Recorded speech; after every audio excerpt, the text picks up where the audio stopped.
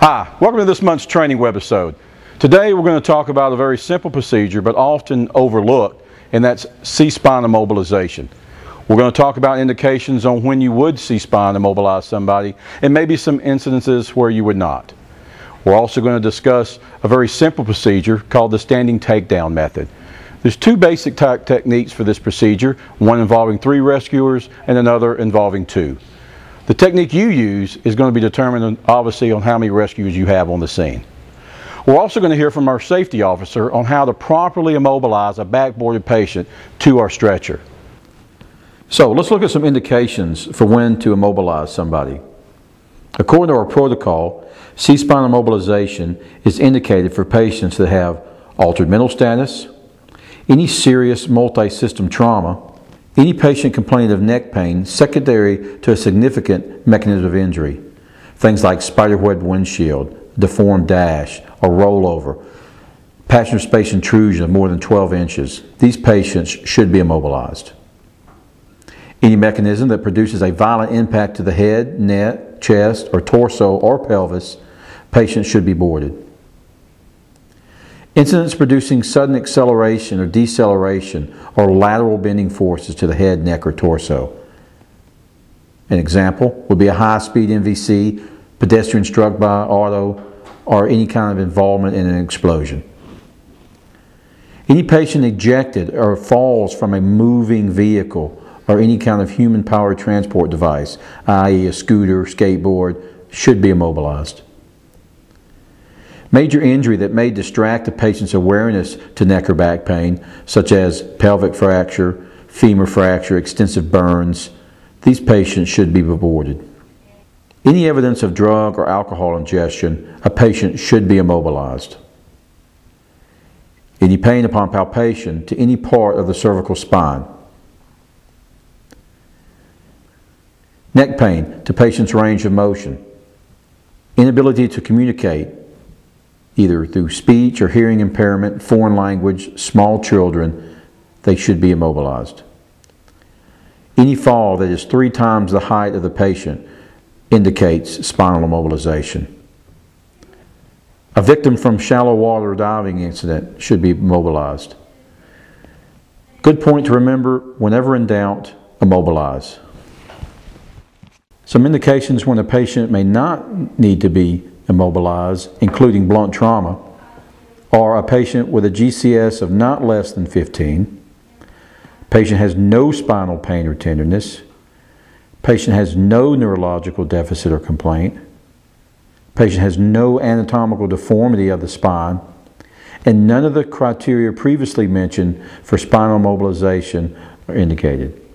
Trauma patients that suffer penetrating trauma that may not necessarily require mobilization include those patients that have no numbness, no tingling to extremities, no loss of motor or neural sensation or function, and none of the criteria that indicate spinal mobilization have been met. Medics should always use good clinical judgment as well as the criteria to determine the need for mobilization. Let's look at the three or more rescuers. One EMS provider can apply manual inline stabilization from either behind the patient or in front of the patient. Once manual stabilization is applied, a properly sized cervical collar can be applied.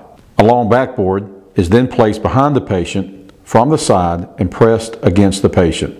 Once the board is in place, manual inline stabilization is maintained until the patient is secured to the long backboard.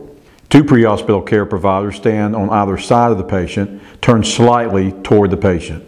Each provider inserts the hand closest to the patient under the patient's armpit and grasps the nearest handhold of the backboard without moving the patient's shoulders. The other hand grasps a higher handhold on the board.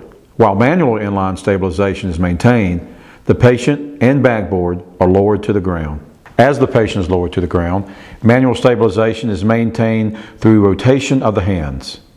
Once the patient and board are on the ground, the patient is then secured to the long backboard.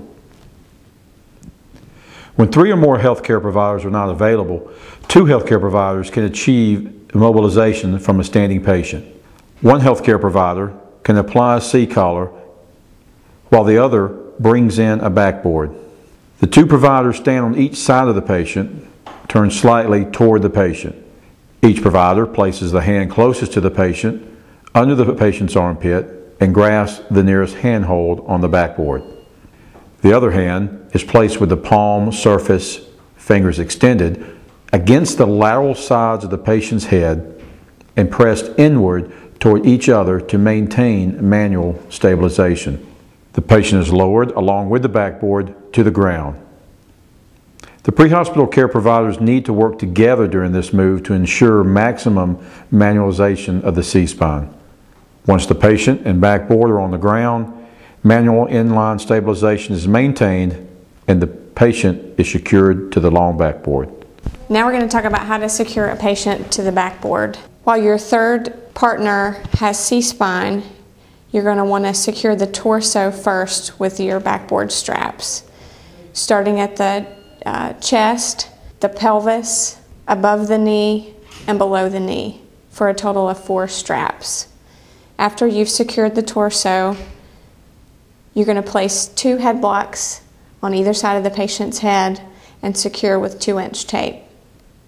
Remember to pad any voids if necessary. Once you've secured your patient to the backboard, you're going to need to place them on your stretcher and load them into the ambulance.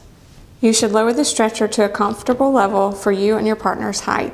Remember that if you lower the stretcher to the lowest position, the farther you, ha- you will have to lift the stretcher. Communicate both with your partner and with your patient to let them know what is about to happen. Tell your patient that you're about to lift them off of the ground and onto your stretcher. Once your patient has been properly placed on the stretcher, you will need to use all of the stretcher restraints, including the shoulder straps, waist straps, and leg straps.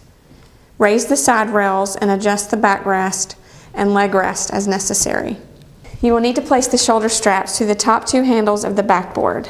By doing this, you can prevent your patient and yourself from being further injured if you are involved in an accident. Place the stretcher in a loading position. This is any position where the loading wheels meet the vehicle floor height. Push the stretcher forward until the loading wheels are on the patient compartment floor and the safety bar passes the safety hook. This should be verified through visualization and communication. Operator 1 should grasp the stretcher frame at the foot end using the upper or lower handles. Lift the foot end of the stretcher until the weight is off of the latching mechanism. Squeeze and hold the release handle. Operator 2 should stabilize the stretcher by placing their hand on the outer rail. Operator 2 should then grasp the base frame and after the foot end operator has lifted the stretcher and squeezed the release handle, should raise the undercarriage until it stops in the uppermost position and hold it there. Both operators should push the stretcher into the patient compartment and engage the stretcher fastener. Well, we reviewed the indications on when to mobilize a patient. We've demonstrated the proper technique for a standing takedown, the mobilization. You've also heard from the safety officer on how to properly secure a backboarded patient to the stretcher. Please remember that spinal mobilization is a technique that is often overlooked, but is a very, very important one and limits the liability to our company. I understand there may be incidents where you don't feel that the patient needs to be immobilized, and if they meet the criteria, then that's fine. I would urge you to document thoroughly in your narrative as to your rationale for not immobilizing. This will help me in the QA process uh, to know what your thinking and reasoning was. Be very careful on using terms like cleared C-spine in the field. Know that we are not authorized to clear C-spine in the field. That can only be done by a doctor in the ER with radiological x-rays. Well, that's it for this training webisode. Don't forget to review the material and then take the short quiz after the presentation and I look forward to seeing you next time.